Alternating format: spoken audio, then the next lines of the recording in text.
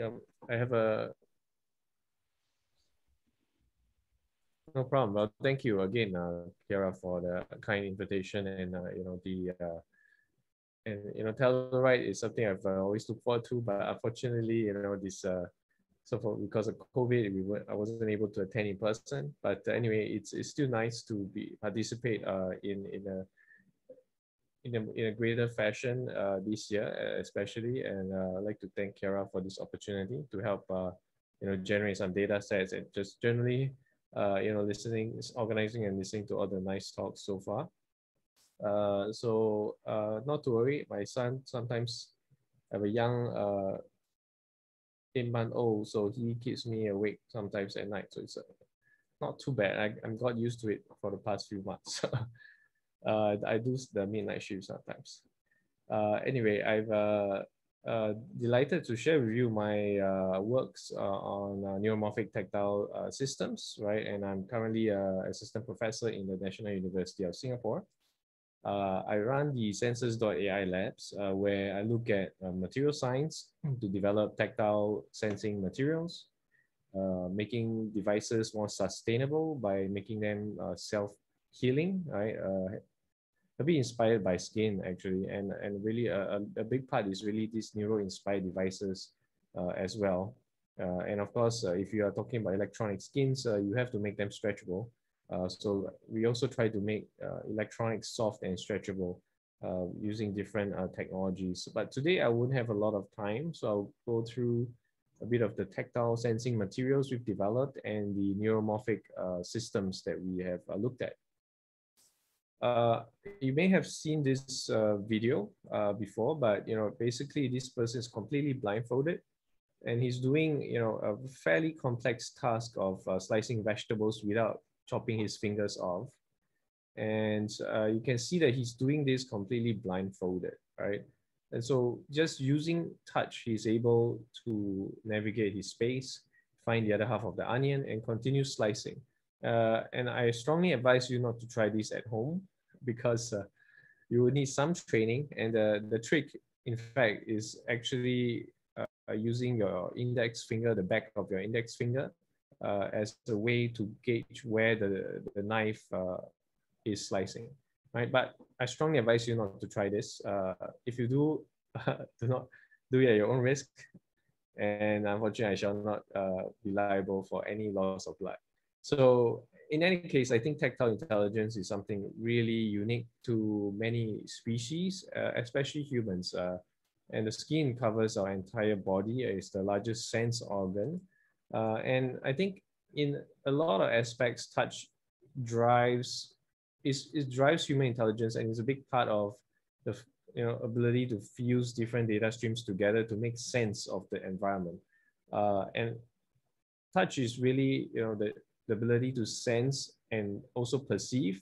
And when we talk about perception, as some of the talks have uh, discussed, is about understanding and learning, right? And this is quite interesting aspect, I think that you'll see a lot more uh, interesting algorithms, neuromorphic ones, uh, coming online, you know, through the efforts of many researchers uh, attending Telluride.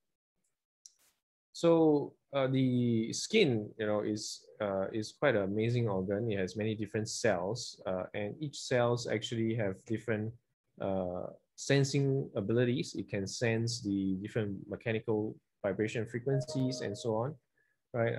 at the same time, it can also sense um, temperature and humidity and so on. So it gives you quite a good picture of the environment you are in.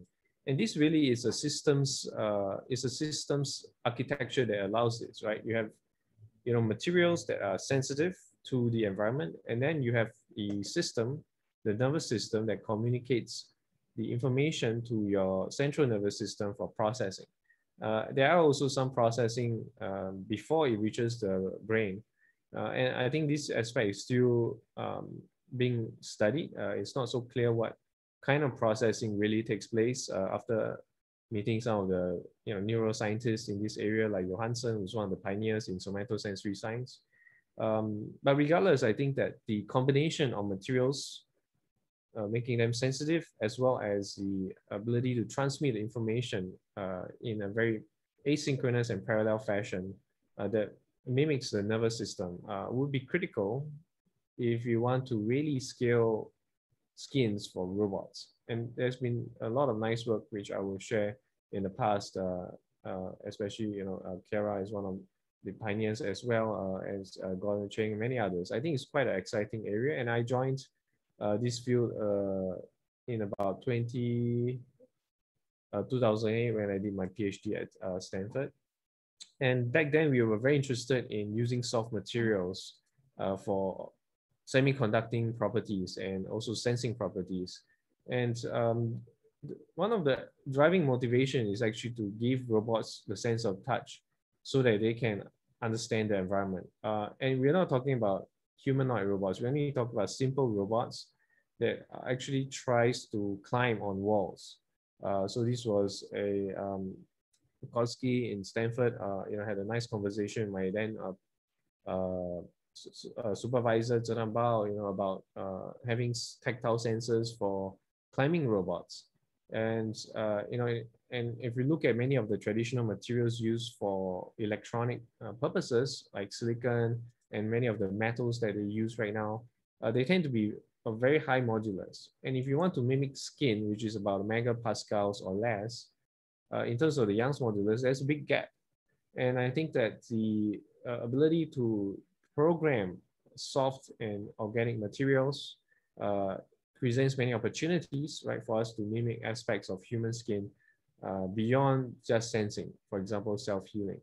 And uh, throughout the years, there's a lot of uh, progress using materials, uh, new materials and chemistry uh, to develop semiconducting materials as well to allow electronic functions on all these on all these pictures I show here for use on sort of more plastic or more bendable form factors and uh, you know, before I graduate, you know, I started looking at the mechanoreceptors and how they transmit information. And so we we kind of uh, uh, published the work thinking about uh, early uh, device prototypes that could be used to transmit information in the form of uh, rate coding or frequency-based encoding. And uh, we kind of uh, developed the system into an optogenetics platform where the idea is to send information using light pulses to neuron cells modified by uh, optogenetics. Uh, basically, the uh, these neurons start to respond to light, and so we can actually stimulate the neurons if we send the you know uh, pulses at different frequencies, and the neurons get stimulated.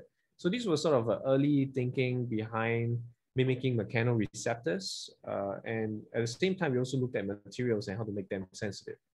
So in, in terms of making materials sensitive, I think there's a lot of different strategies. And one of the strategies we looked at uh, was really about microstructuring or designing materials to have certain uh, three-dimensional structures. Uh, and one of them, which is very quite popular uh, and have been uh, replicated across many different research groups ever since we published the work in, in Nature Materials using micropyramids.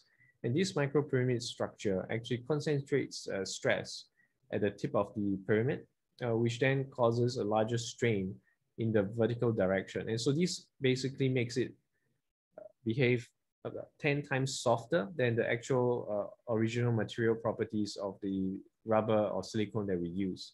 Uh, so, so for example, if the silicon was about one megapascal in modulus, Young's modulus, the actual structure, you know, is about about 0.1 uh, megapascals, so 10 times um, more sensitive to touch and compressive forces. So then this has been uh, used quite a lot. And right now in my group, we're looking at developing models uh, that we can use to simulate this behavior and actually measure the electronic properties, one of which is capacitance. And I think many of you are very familiar with capacitive sensors.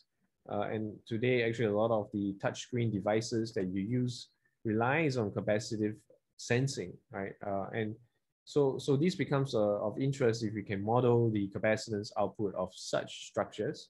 Uh, and in this, in this case, our lab, we, we are studying these structures at the micro scale.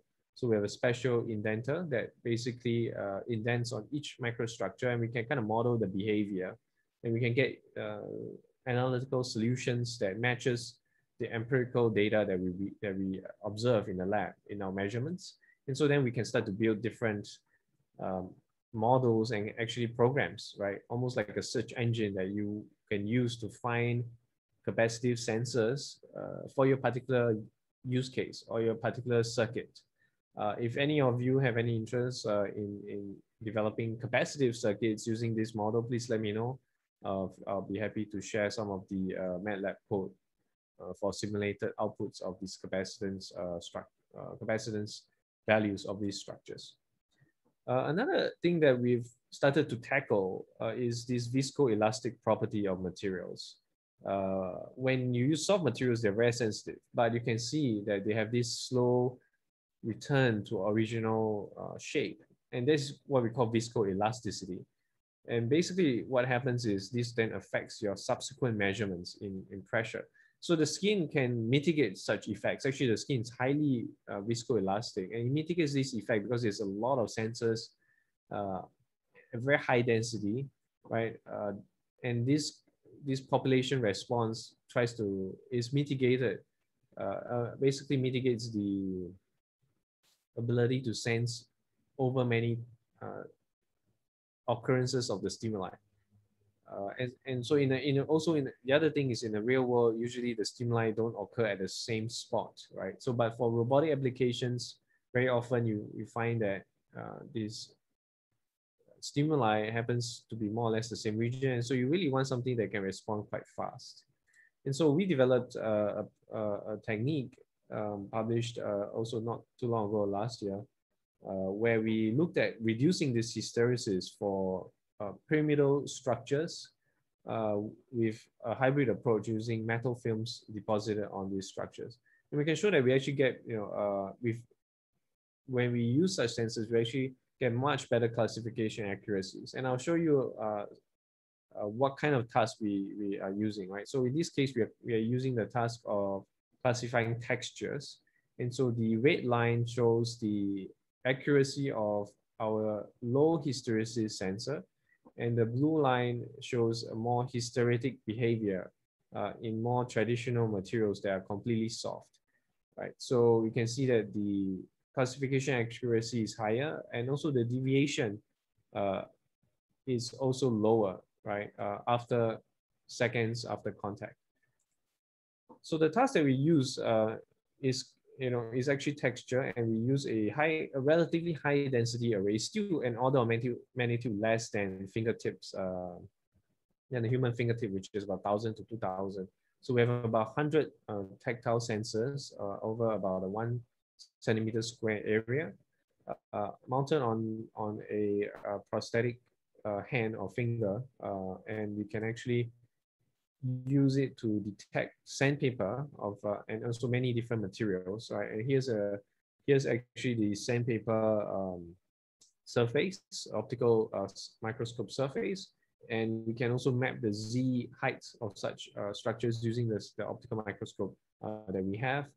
And as you press this, the sensor on the surface, you get an indentation map. And these are basically uh, frames that changes as you press on the surface. Now this is quite different from how humans typically perceive texture. Humans rely on uh, motion, uh, sliding motion across surfaces to get the texture.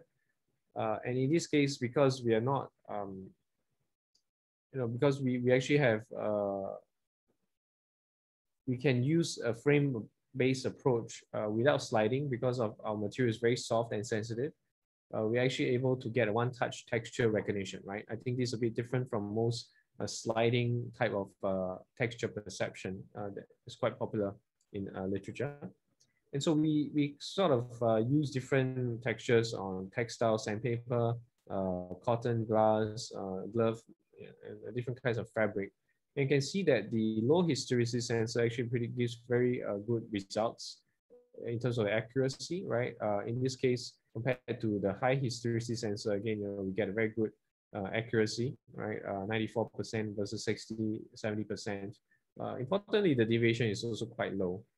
Uh, and, and so you can see the confusion matrix uh, it's not as uh, nice in the diagonal for high hysteresis sensor. And this is kind of probably you can use certain machine learning algorithms to um, to get better results, but we kind of use a very standard, uh, simple algorithm. And, and we, the point here I want to make is that materials actually can help machine learning uh, perform better without uh, using more sophisticated algorithms uh, in, in, the literature. So I have about, I'm coming to the last part of my talk, uh, which is about the transmission of information, which I talked about earlier, right? So uh, Johan, actually Johansson, um, you know, uh, and his uh, colleagues and his team did very nice studies, you know, using microneurography. And in Telluride, uh, one of the uh, uh, postdocs that uh, joined my group actually attended Telluride. He, he was from uh, Nitish group earlier. And so he, he was also very interested in neuromorphic systems and pushing the performance limits. anyway, he had, I think he attended Telluride. He had the video that Nitish showed where there was a microneurography experiment I think it was, was probably three or four years ago now. Uh, basically, the skin encodes uh, information in, in, a, in the form of spikes, right? I think many of you are very familiar with this already, so I won't uh, belabor this. Um, at the same time, there's also been very nice neuromorphic work on computation. Uh, Intel, uh, Loihi, for example, and we are starting to see more and more different kinds of neuromorphic uh, circuits and processes coming online, which is very exciting. It's a nice uh, review in Nature if you'd like to find out more about it. Um, and I think the team gave a very nice uh, introduction to the whole field, right, uh, uh early on as well. So in terms of sensing, especially skin-like sensing, uh, we started uh, with synchronous systems and started to move towards event-driven systems.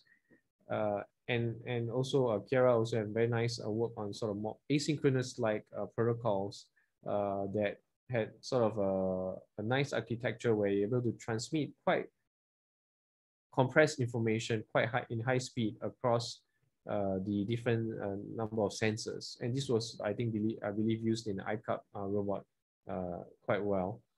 Uh, and so we were looking at ways to develop a fully distributed architecture where each, each sensor is able to send an information, a very simple information, and then through the population response, be able to understand the contact properties. And so uh, we were looking more towards a fully asynchronous system, and we looked at uh, different ones, uh, and the AER uh, representation uh, seems to work quite well, and so we kind of adopted that. Uh, and, our, and, and um, basically, we also looked at nervous systems and how they work. And we realized that the nervous system, if we were to mimic it, uh, would be challenging from a systems point of view because you would need a lot of wires wiring up each of these individual sensors. And so we came up with a uh, technique uh, which we call asynchronous coded electronic skins or ACEs, uh, where the information can be transmitted over a single wire uh, and then decoded by the CPU or, some form of computing um, chip. It can be an ASIC or it can be uh, programmed MC, uh, FPGA or MCU, uh, where you can then deconvolute the signals, right? And so how do we program this? Uh, how do we combine address event representation with the ability to have fully asynchronous behavior without sort of uh, without a central clock? If we didn't want a central clock, you know, we could, right? Uh, in in this case, and so we looked at the action potentials and uh, neurons fire with you know about one millisecond kind of uh, voltage signal. Um, but with electronics, uh, we are not limited by ionic currents and their speed. So we can go much faster. So we can program, for example, an MCU or just or, digital uh, chip that, that generates certain spike uh, patterns, right? And here I show five different spike patterns uh, for each of our sensors we call receptors.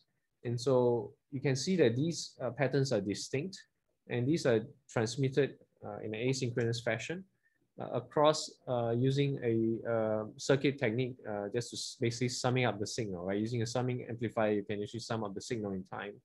and the back end, we can then decode the signal because we know the spike patterns, right? And it's a simple deconvolute, fairly simple deconvolution algorithm actually. And it actually is very low power uh, very easy to implement. Uh, we've implemented a full system uh, from the front end uh, sensing all the way to the decoding uh, using FPGA, but we're moving to ASICs currently.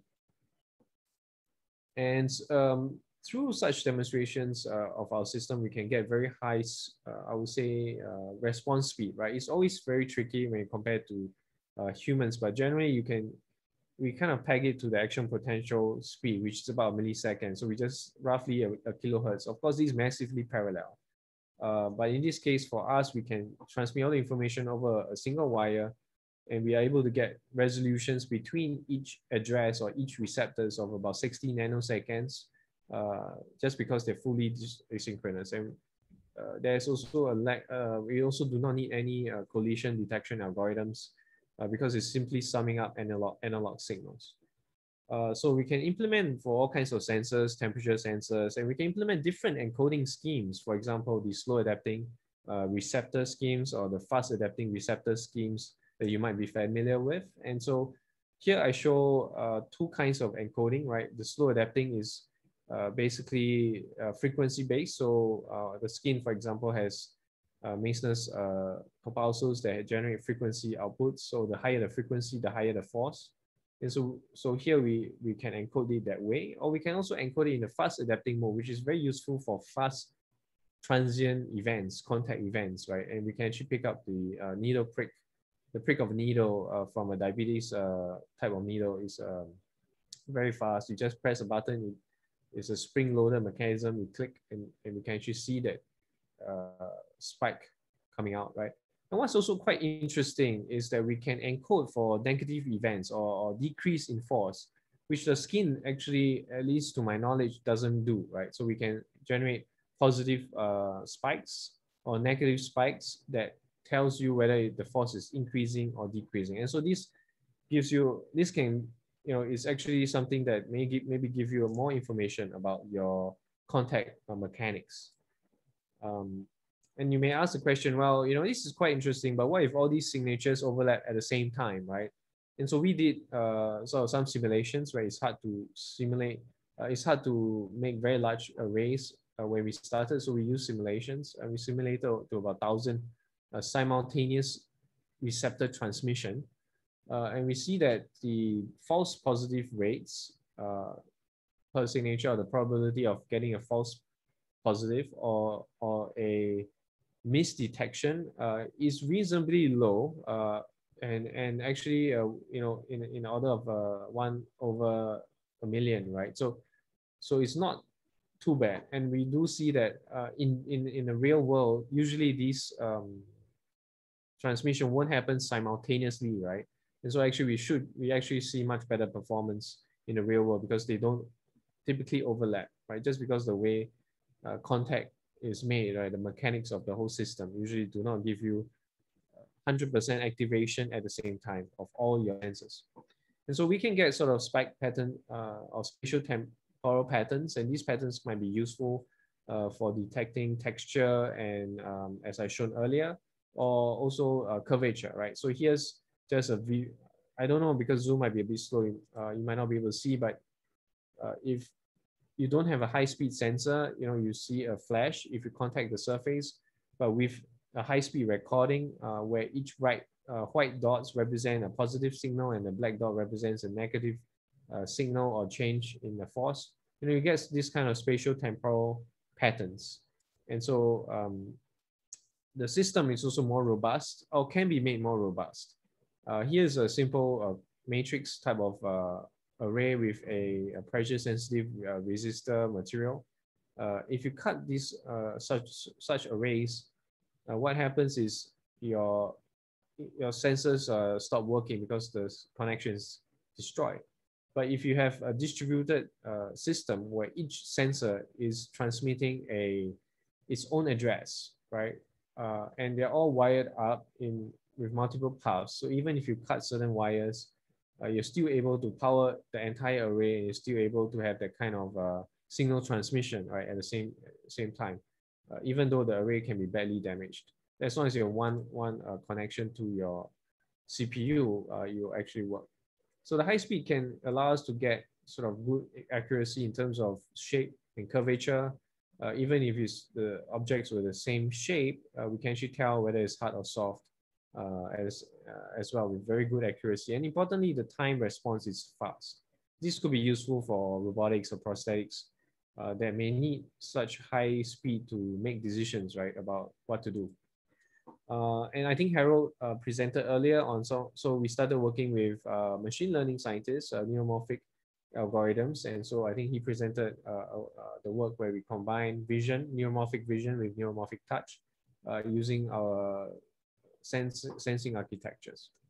Uh, and so in terms of data set, uh, you know, I, am I'm, I'm actually um, uh, happy that to share that, you know, this data set is widely available ever since we published in on arXiv. So do check out the paper and, and download the data set if you're interested. Uh, and basically we made a uh, MNIST-like data set for touch, uh, where actually we got, you know, I, I think all my lab members write, uh, write uh, handwritten digits. Uh, so we have different individuals and different writing styles and speeds. And so this data set, you know, has a fairly large number of images uh, and all having the neuromorphic uh, spatial temporal patterns. Uh, and so here's an example, right? From zero to two seconds, you've probably finished writing the letter eight, and you can see the spike patterns, right? And you can sort of use machine learning algorithms that you're learning, hopefully from Telluride, uh, to get better uh, classification accuracy. So we did very simple ones, uh, very non-optimized ones, and we got roughly 80 um, 80% um, type of accuracy. and I think we also used the Loihi and Slayer uh, and we got about 80 something percent, right? So if you're interested, you know, hopefully you can push that to even higher uh, accuracies, right? 95 or higher. Um, and I'd like to end off with uh, saying that I think the field of, uh, you know, um, tactile skin is really uh, exciting. And in material science, we can even make te technologies where sensor materials can repair, self-repair. Uh, we published several kinds of materials about this already. Uh, and so, so here's an example where you can see a scar early on that completely disappeared. Right? So this material is transparent uh, and might be useful in touchscreen applications. And so we also have a new work in uh, recently published where we can sense proximity uh, as well as pressure.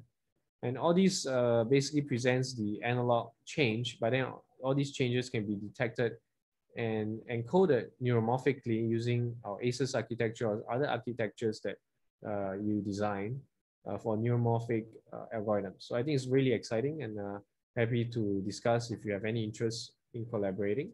I'd like to acknowledge my group and, and, many of the people who have uh, worked on the various projects of collaborators and also, of course, the funding agencies. And the nice thing about, I think, working in a, a research group uh, is that the average age of the group, uh, you know, is lower and, they, and and they kind of uh, keep my uh, mind young, uh, even though I'm, uh, you know, certainly cannot say I'm, I, I can think like a teenager or my 20s anymore. But I think it's really exciting working with young people and also uh, appreciate the time uh, and your attention. So I'd like to uh, thank you. Uh, and again, I, I run the Sensors.ai labs. Feel free to reach out to me uh, on, on my email or Twitter account. Uh, and this QR code is a LinkedIn. Thank you. Thank you, Benjamin. It was really, really interesting, and you touched many different aspects of the tactile sensing, really ranging from the materials uh, to to computation. And I think it's uh, really uh, a lot of work that you have done, uh, and is really promising. So I don't know if um, there are questions. We are we are not many, so if you want just to unmute and uh, and ask questions, we can, you know, make it a bit more um, interactive. I will stop recording, so you you don't you're not shy.